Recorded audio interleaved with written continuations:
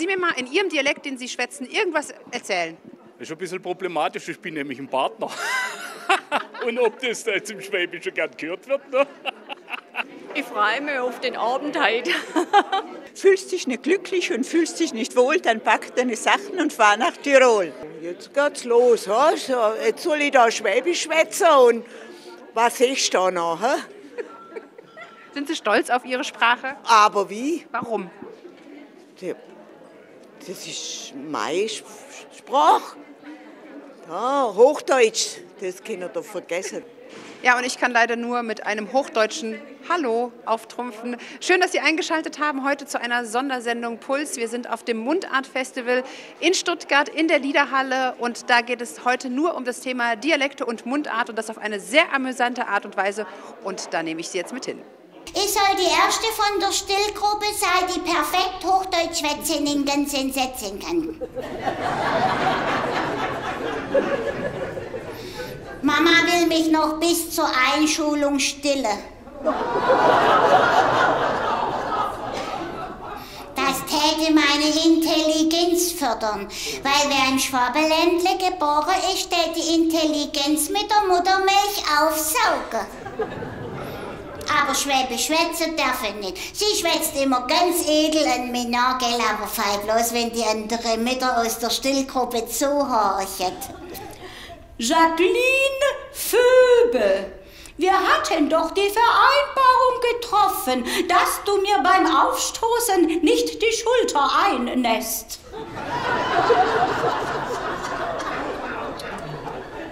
Holm schreit sie noch bloß, Jacqueline Febe, du Drecksau! Und hier wird das Ganze nachher stattfinden. Momentan sind die Plätze noch leer, aber es ist ausverkauft. Es ist total beliebt, das Mundart Festival. Und den jungen Mann, den Sie da hinten mit der Gitarre sehen, ist Reinhold Hittinger. Der kann uns gleich Rede und Antwort stehen, warum braucht es das Mundart Festival? Was ist das überhaupt? Und ich frage mich, so kurz vor der Veranstaltung muss der noch Gitarre üben. Was ist da los? Alles das klären wir jetzt. So, ich persönlich finde, jetzt ist genug geübt. Wir müssen jetzt mal ganz uncharmant unterbrechen. Oh, ja, jetzt kann ich auch applaudieren. Ah. Ja, schönen guten Tag. Herr Hettinger, ich habe eine Frage. Wenn, wenn Sie so kurz vor der Veranstaltung noch üben, was ist da los? Was da los ist, das ist die wahre Freude an der Musik. Was ist das Mundart Festival? Mundart Festival wird seit circa ja, 17, 18 Jahren das veranstaltet vom Albverein im Sinne von Kulturförderung Richtung Mundart, also Dialekt. Nicht nur der Schwäbische, sondern allgemein was aus Baden-Württemberg kommt. Also aber die Vereinstätigkeit, die kriegt ja erst die richtige Würze, wenn man sich berufen fühlt. Für Ämter. Wenn man sich in Ausschuss wählen lässt oder gar ein Pöstli übernimmt, also Pressewart, Kassier, Schriftführer oder die Karriereleiter nach oben strebt.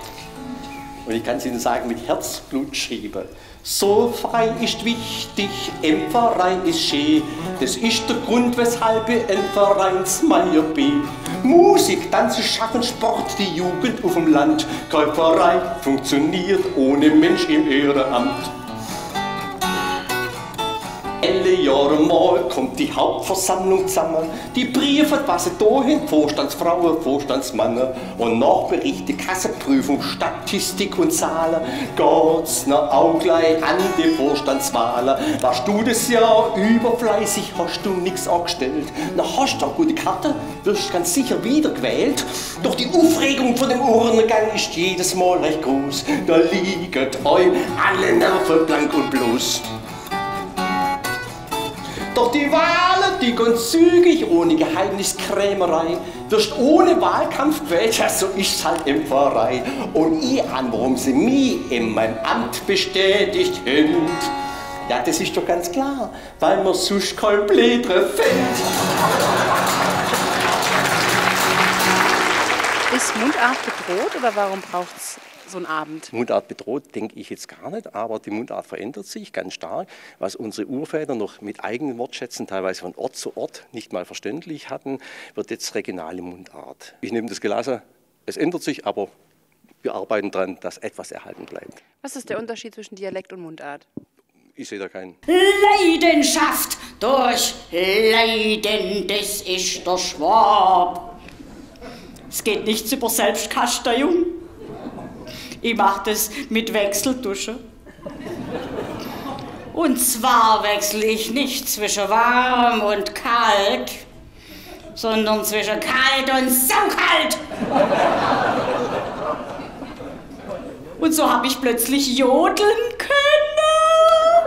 Ja, ich zeige Ihnen mal, wie das geht. Das können Sie morgen früh gleich im Bad ausprobieren, aber machen Sie das Badfenster vorher zu, gell? Nicht, dass die Nachbarn meinen, Sie täten da wegen was anderem jodeln, gell? Wir brauchen einen Duschkopf. Ja. ja, ja, das waren halt noch Lumpen, gell?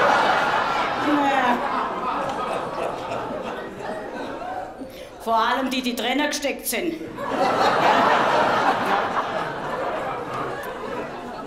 Jetzt tun wir mal, wie wenn das ein Duschkopf wäre, gell? Und dann fängt man da mit dem kalten Wasser an. Ja, ja. Ja, ja, ja. Hol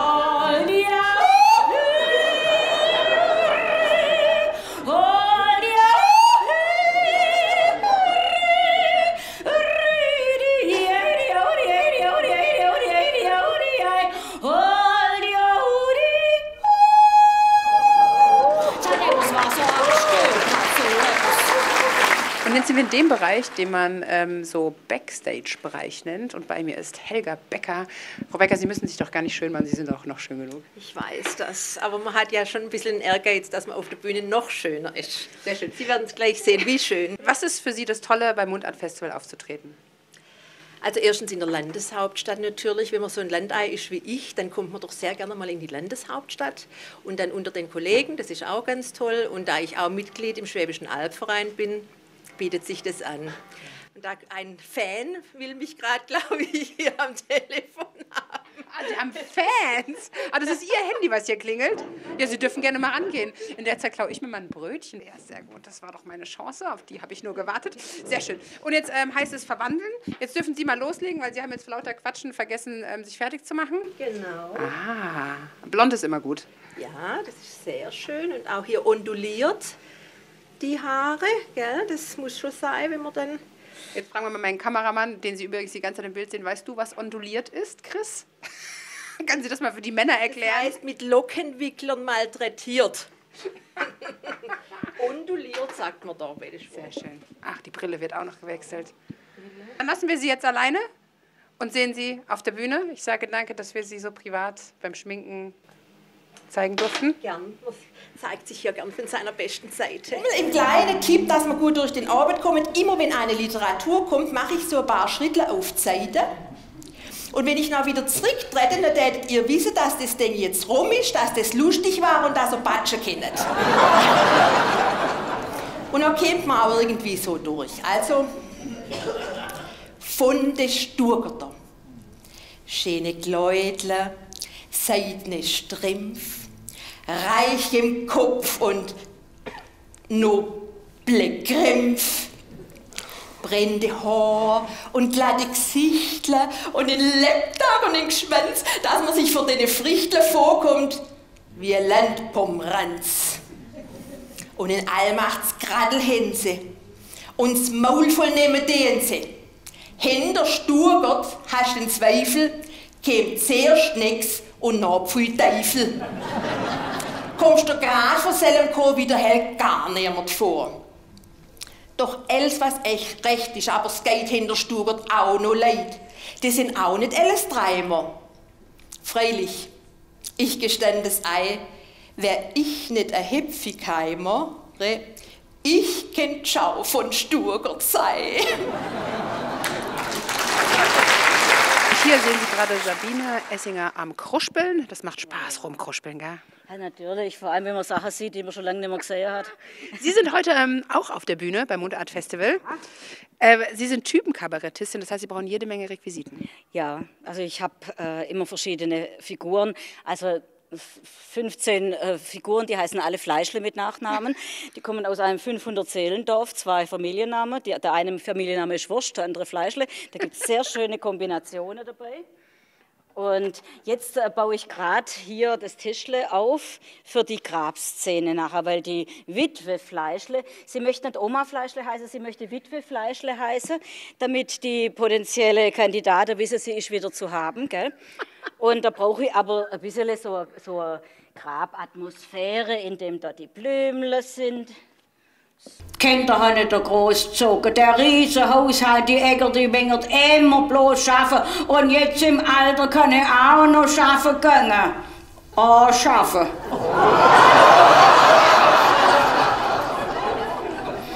Im Seniorenpuff 80 plus.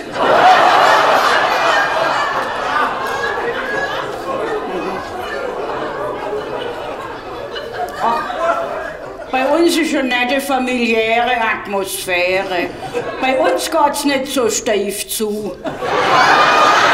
Es hat mir sehr gefallen. Ich bin ja fast jedes Jahr da hier. Man wird zum Lachen einfach animiert und muss mitsingen und muss mitlachen. Also ist wirklich schön. Ich finde es total unterschiedlich, auch was vorgetragen wird. Also ich finde es abwechslungsreich auf jeden Fall. Ja, und ein anständiges Mundart-Festival hat natürlich auch einen Präsidenten. Bei mir ist jetzt Dr. Rauchfuß. Grüße Sie. Ich grüße Sie auch.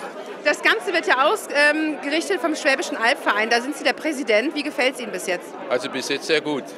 Sie sind von über 90.000 Mitgliedern der Präsident. Wie erklären Sie sich diese Riesenmasse an Menschen, die in Ihrem Verein sein wollen? Also wir sind Europas größter Wanderverein. Das hängt damit zusammen, dass unser Vereinsgebiet sehr groß ist. Das ist also die Hälfte von Baden-Württemberg, der württembergische Teil und vor allem die Vielfalt, die wir als Schwäbischer Albverein betreiben. Wir machen ja, wir bieten vielen Wanderungen an, wir machen Naturschutz, Wegearbeit. Es gibt so vieles dann auch vom kulturellen Bereich, das wir durchführen. Und da wird also im Prinzip jeder irgendwie angesprochen. Sie sind in Stuttgart geboren? Ich bin gebürtiger Stuttgarter, ja. Können Sie jetzt so zum Abschied unseres Interviews noch mal irgendwas Schönes auf Schwäbisch, auf so richtig Stuttgarterisch zu meinem Publikum sagen? Es ist natürlich so spontan, jetzt schon was zu sagen. Also mir gefällt es so mäßig gut. ja, so wunderbar. Mir auch. Der Metzger, Schuster, Schneider, die Gewirr und Hungerleider, Apotheker und Konditor, Leichenträger, haut sich bitter, Kiewer, Ipser, Kelp, mich Fäger, Fäder, Fuchser, Heiligenpfleger, Stadtag, Wieser, Fleischbeschauer, Kupfer, Schmieden, Pfeilerhauer, Wegmutter und Kappenmacher. Junge Spritzer, alte